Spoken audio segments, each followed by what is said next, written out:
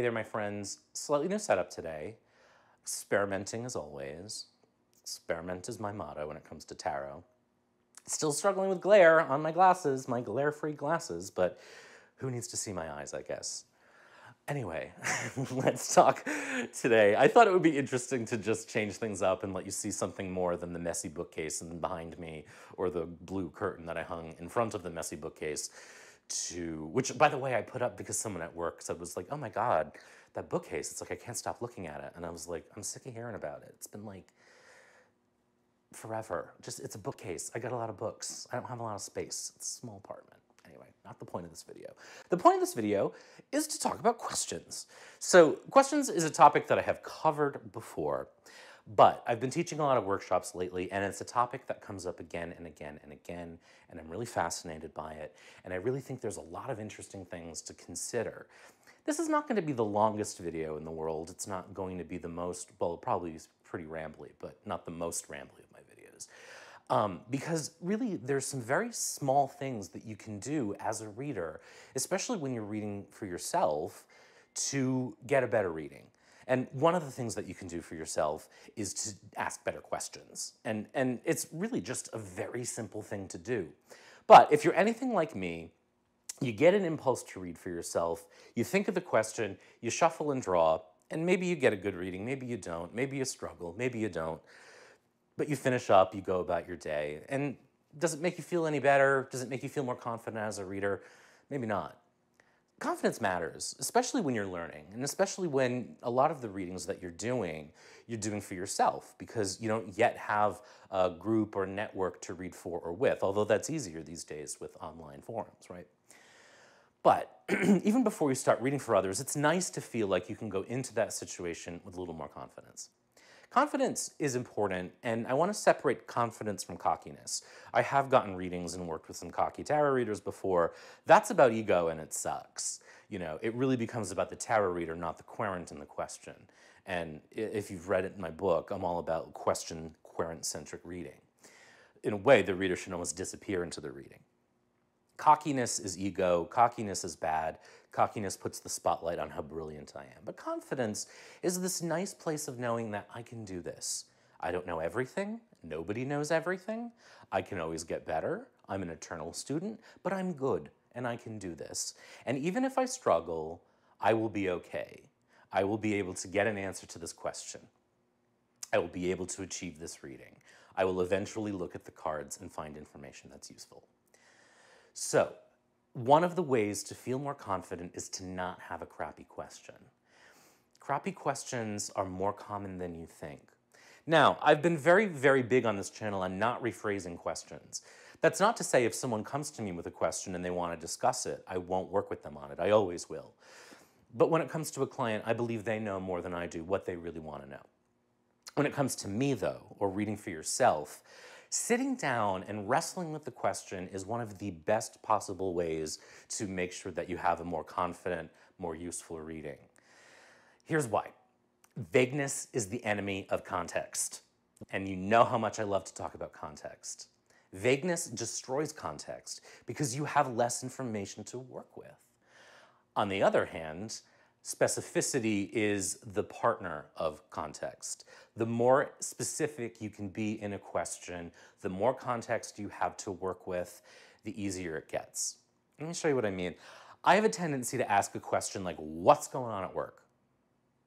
I mean, objectively, it's not a terrible question. Well, objectively, it kind of is a terrible question, but if you ask questions like that, I don't want to make you feel bad.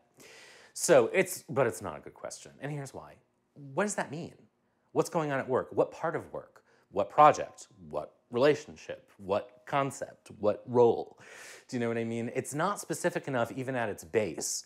But is that even what I really want to know? And why am I asking this question? What do I need to know? What am I interested in finding out? Do I want to know about the promotion I applied for? Do I want to know whether or not I'm going to get the promotion I applied for? Do I want to know whether the promotion I applied for will make me happier if I get it? Do I want to know whether it's time to move on from this company into another one? Do I want to know ultimately at the end of the day, will I be happy in this company? All of those are very different questions. And that's to say nothing of the fact that it could be again about what's going on with my boss's mood yesterday. Why are they being so mean to me? You know, like the more that you dig into a question, the easier it gets to get a good answer. Should I go on this date tonight? Well, I mean, assuming there's no context clues telling you that you're in danger, why not go? You know what I mean? Unless you don't feel comfortable, in which case don't. What do you really want to ask that question? Ask. What do you really want to ask that question for? What's the purpose? And that's another thing. It's not just digging into the language you use and the thing you want to know, but also why you're asking it. What do you really want to know and why do you want to know it? Do you want to know if you're going to get laid? Do you want to know if you're going to get married? Do you want to know if it's going to be boring? Do you want to know if it's worth your time? You know, dig deeper into these questions because every time you do, you will get closer and closer to a clear reading, and that will make you feel more fucking confident, which is gonna blow your mind, and it's gonna make you feel even stronger when you read for others. Again, when you're focusing on the doubt, when you're focusing on the struggle, when you're working on a reading and it's just not coming, what you're really thinking about is the doubt. What you're really thinking about is your ego. What you're really thinking about is, I can't do this. The cards and the question have disappeared. When you can erase that doubt, or at least prevent it from creeping in quite so quickly, you are able to focus on the cards and the question more. And that's easier to do when the reading springs to life a little more easily. And it's going to spring to life a little more easily when you have a clear question. I don't, like I said, rephrase questions for clients. I will ask what I will answer what they asked me. But a lot of clients will want to know if the question's appropriate or the, they'll want to know why or whether or not I think that it's something that I can read about. And that's always a great opportunity for us to have a conversation, which you can do with friends, which you can do with clients, which you can do with family, in order to get them closer to what the reading should be, to, to get the best out of it. And almost always a good question to ask is, well, why do you want to know that? And not in a judgy way. Understanding why we want to know something is a good way of clarifying what we really want to know. And it gives us the opportunity to make sure that we're getting closer to the goal, which is a clear, useful answer. Why do I want to know this? I also say, too, that there's a gap between need to know and want to know. There are things we may want to know, but they're not necessarily things we need to know. Or the things we want to know may just be confirmation bias. There are things we need to know that we may not want to deal with. And so the question needs to be considered that way too. Is this a need to know situation? Is this something I really need to face? Or is this something I'm just curious about, kind of want to know and whatever, and it's just a little fun reading? Nothing wrong with either one. The need one might be harder because again, it's going to require more, more context and maybe a little more objectivity. But I've seen many, many readers come to those conclusions in really powerful ways. So it's definitely doable. The question is just wh whether the context is need or want. Want is an interesting thing, you know, and, and uh, the reason I separate it from need to know is I may want something, but it may not be good for me. I may want this relationship to work. I may want this promotion. I may want that whole pizza that's sitting on the counter. That doesn't mean that's the right thing for me. And so separating need from want is kind of an interesting way to get stronger, more clear readings, just to clarify for yourself what you're really working with. Now, again, there's nothing wrong with, you know, will this relationship work out? I want this relationship to work out. But that's a different answer than, is this relationship healthy for me? So understanding that nuance is key. You can almost always dig deeper into a question and find more. And I guess maybe you could obsess about it for a long time too, and that's not the purpose of this. But you can dig deeper and even give yourself a little breathing room. If, for example, you do like a daily draw and you ask the question in the morning, come up with tomorrow's question this morning, let it sit overnight, come back to it in the morning, and see if that's still what you want to know. Then do the reading, and do that every day. You can do that even if you don't do a daily draw. Write out your question, sit with it for a little bit, give it a couple hours, give it a couple days, come back to the reading, come back to the question, I always say the question should take as long, if not longer, than the reading. Because in fact, the stronger the question, the faster the reading will probably go because things are just going to spring to life so much more quickly because you have more context. And context is everything. So remember, vagueness is the enemy of context, specificity is its partner in crime. That's really all I wanted to talk about. I know that this seems like a simple, quick ta uh, tip, tarot tip, but it's so powerful. And I, I am so guilty of asking bad questions when I read for myself. Like that what's going on at work question is one I have used so many times. It's so lazy. I'm such a lazy person when I read for myself. It's one reason why I don't do it more because I know that I really should be working harder on the question. But when I do work hard on the question, the reading always springs to life much more easily. So I'm the king of lazy questions when it comes to reading for myself. So don't feel like I'm, you know, I'm an expert in doing this. I know that this is hard. And I know that when I do it, the reading gets better. And that's really the whole key.